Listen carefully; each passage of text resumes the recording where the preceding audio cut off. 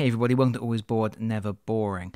When my D&D group finally get back together, which the way the world is going will be, I guess, sometime in 2022, we intend to finish our Lost Mine of Phandelver campaign and then we're going to move on to a new campaign. And one of my players intends to be a tabaxi. So for his birthday, um, in a move that is either egotistical or cheap, depending on how you look at it, I decided I would paint him up a tabaxi of his own. So I have here a Reaper Bones black plastic tabaxi miniature, and we're going to paint him up. So this miniature um, is pretty nice sculpt, but straight out of the box there are a few issues with it. First of all, he has a bent sword. Uh, second, he is leaning quite far back in his pose. And third, he doesn't come with a base.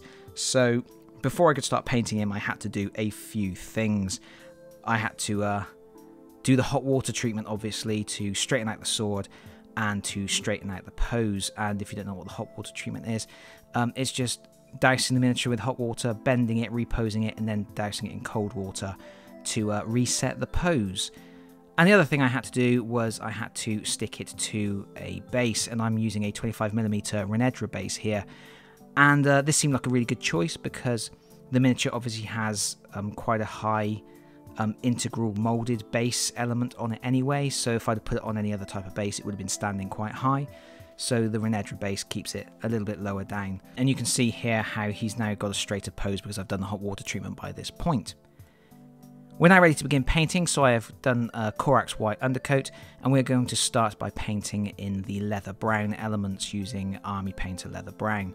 So this is things like the tunic and his gauntlets. Any items of clothing that I want to be brown. And I'm going to do two thin coats with this to make sure I've got a good solid covering. I don't need to worry at the moment about going over things like the fur and everything else. We'll deal with that later at the end. I'm then going to switch to Monster Brown and we're going to apply that to other brown areas like the sheath, so we've just got a different tone of brown on the miniature.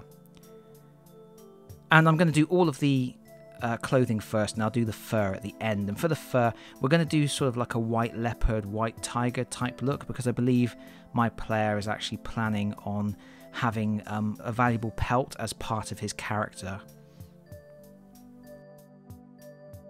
I'm switching to Mephiston Red now, and I'm just going to block in the pauldron that the uh, Tabaxi has on one shoulder. And this is just because otherwise it's going to be quite a brown miniature, and it's just a, a spot of colour, something to uh, brighten it up a little bit, while still giving it a sort of natural leathery armour sort of look. And now I'm switching to Dawnstone, and Dawnstone I find is quite a good colour for things like leather straps and belts, so that's what we're going to do with that. We're going to um, fill in all of any thongs, straps, belts, anything that would be like a worn leather item. And then I'm also going to paint the quiver as well. Just going to give that a solid coat. The arrows will also be Dawnstone. And then we're switching to Balthasar Gold, and this is quite a coppery gold colour, and I find it quite nice for things like sword hilts, so that's what we're doing with that. We're going to uh, just block in the sword hilt. And then we're switching to Leadbelcher for any metal elements. And there really isn't a lot of metal on this miniature at all. It's mainly the sword, but there is also a belt buckle and a couple of buttons on the front of the tunic. So all of that will get a coat of Leadbelcher,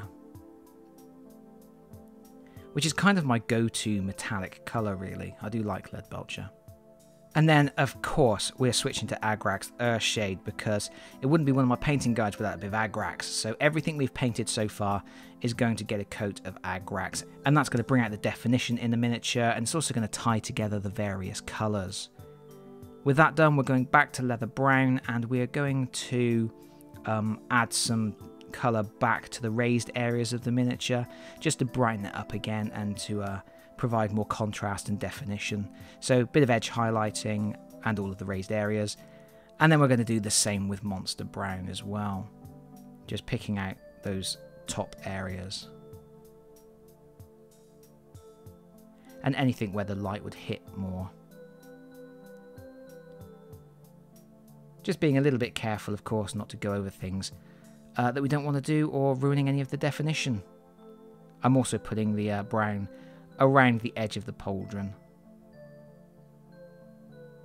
And then we're going to do the same thing with Dawnstone. We're going to go back to those uh, leather areas like the belt and the straps, and we're just going to pick those back out again, just so they don't get lost in the muddiness of the browns. We do want them to stand out. And I'm doing the quiver as well, and I've thinned the paint down quite a lot here. And I'm going to do a couple of layers of this, gradually uh, building up the colour towards the bottom of the quiver and just blending it into the darker colour at the top. And making sure the edges have got a bit of a highlight on them. And then I'm switching to Evil Sunz Scarlet, and this is obviously for that red pauldron. And the pauldron actually has small squares on it, so I'm just very carefully picking out the top of each of those individual squares. Just to brighten them up. Stormhost Silver next, and this is obviously for the top edge of the sword. I'm going to do an edge highlight down the sword, and I'm also going to bring that highlight down a little bit onto the top of the flat of the blade on each side. Just to brighten that sword up. We're now going to move on to that fur, and we're starting with Ulthuan Grey.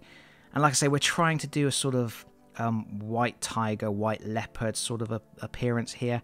So one coat of Ulthuan Grey is enough um, because any colours that sort of show through will just add to the patchiness of the fur. And then we're going to water down some Reikland Fleshshade and we're going to put a coat of that over the whole thing. We're thinning it down a little bit because we do want to bring out the definition in the fur, but we don't want it to be too dark. We want it to be whitish or off-white fur. We're going back to Ulthuan Grey now. And the first thing to do is to pick out the area around the mouth and the nose. So we've just thinned the Ulthuan Grey down. We're going to put that in and then sort of feather it out, um, blend it into the fur around.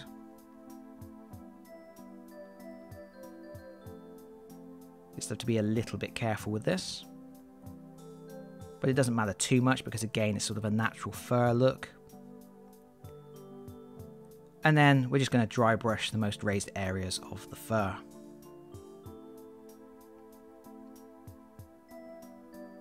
Just being very careful not to get it over the armour because at this stage the armour is finished.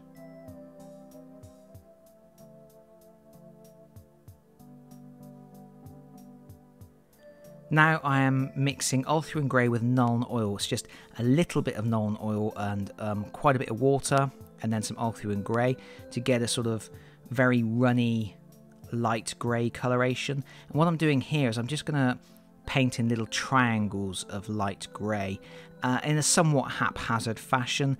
If you want to, you can look on the internet for source images of white tigers and the patterns on their fur. But, um, you know, I like my mate, but not that much, so I didn't bother. So um, I'm just doing sort of whatever looks good, I'm just eyeballing it really. And then once that's done, we're going to do the same thing again, but just with Nuln Oil this time.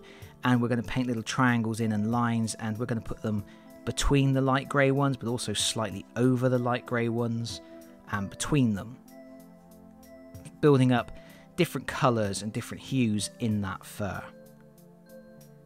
You just need to be careful not to really go too overboard with this because um, you don't want to lose that whiteness of the fur underneath. And that's actually the fur done. So we're going to move on to the eyes. We're going to use moot green for this because moot green is a really great bright green colour, which I think is really nice for cat eyes. And just being very careful using a small brush, we're going to line in the green on each eye.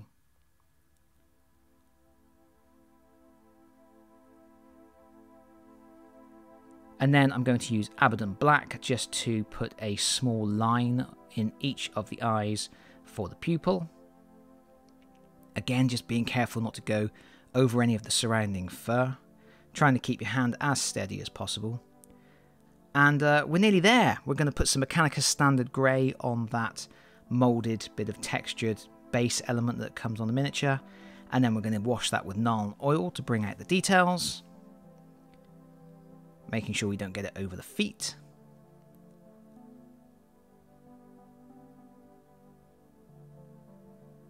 and then we're going to use Stirland Mud, which is a textured technical paint, and we're going to put Stirland Mud all the way around the base, sort of building it up towards the stone textured element that's already on the miniature. And then when that's done, we'll put a little bit of Agrax over that Stirland Mud. We'll put some Abaddon Black around the rim of the base, and then we will varnish the miniature, um, making sure we use an anti-shine varnish so he's not all shiny, and that's what we've got. The last thing that um, I'm not showing in this video is I put a little bit of um, leaf scatter and a tiny little bit of patchy grass on the base just to add a little bit more interest to that. But other than that, that is done and I'm relatively happy with how it turned out. I'm not sure the fur is quite as glorious as my friend possibly imagined his tabaxi would look, but um, probably the best that I can do with my particular painting skills. Um, so that is it from me for now. Thank you so much for watching the video. If you've enjoyed it, please consider pressing the like button. If you've really enjoyed it, please consider subscribing if you already do so. And hopefully, I will see you all again very soon. Bye bye, everyone. Bye bye.